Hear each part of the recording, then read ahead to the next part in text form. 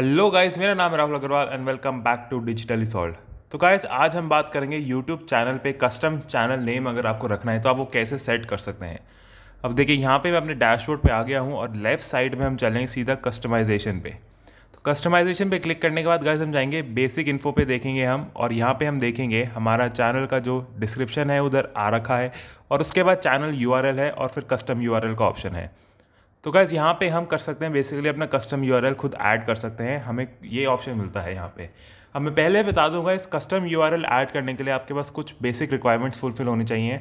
आपका ये देख सकते हैं आप, एक लोगो होना चाहिए आपके पेज का। आपके पास एक चैनल आर्ट होनी चाहिए, यानी कवर पे कवर फ़ोटो जो किससे कहते हैं। और आपके पास मिनिमम हंड्रेड सब्सक्राइबर्स होने चाहिए। उसके बाद ही ये ऑप्शन जो है आपको दिखेगा। उससे पहले आपको ये ऑप्शन नहीं दिखेगा। और एकदम ही नहीं दिखता है हंड्रेड सब्सक्राइबर होने के बाद, एक दो दिन आप वेट करिए, उसके बाद आपको ये ऑप्शन दिख जाएगा। तो देखिएगा इस चैनल यूआरएल तो आपका फिक्स रहेगा जो यूट्यूब ने आपको प्रोवाइड कर रखा है, इसे आप चेंज नहीं कर सकते हैं। लेकिन कस्टम यूआरएल का आपके पास ऑप्शन है, आप इसको देख सकते हैं, मैंने यहाँ पे सेट कर रखा है। इसमें बेसिकली क्या होता है यूट्यूब डॉट कॉम की वेबसाइट हो गई सी फॉर मेरे ख्याल से चैनल होता है, ये कंपलसरी रहेगा। और फिर अपने आप ही यहाँ पे यूट्यूब ने डिजिटली सॉल्व यानी कि मेरे चैनल का नाम जो है लिख दिया है। अब मैं इसको डिलीट कर सकता हूँ यहाँ से।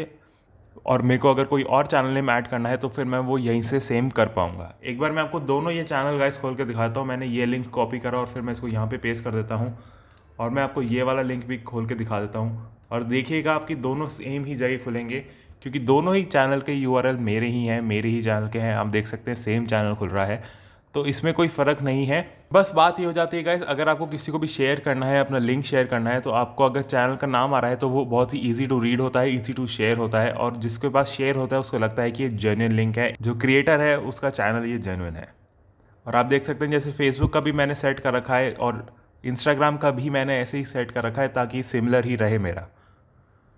एक और चीज़ बता दूँ गाइस इसमें आप इसको एडिट करने जाएँगे तो आपको अपने चैनल का नेम कंपलसरी रखना पड़ेगा। इसके आगे आप कुछ भी ऐड कर सकते हैं, जैसे कुछ लोग व्लॉग्स ब्लॉगिंग या डेली या कुछ भी ऐड कर सकते हैं, लेकिन चैनल का नेम आप नहीं हटा पाएँगे गाइस और देखिएगा इस ब्रांडिंग में वो बात थी जो मैं आपसे कह रहा था पिक्चर होनी चाहिए आपके पास और बैनर इमेज होनी चाहिए कंपलसरी जब तक ये लगी हुई है, तभी भी आपके पास ऑप्शन रहेगा।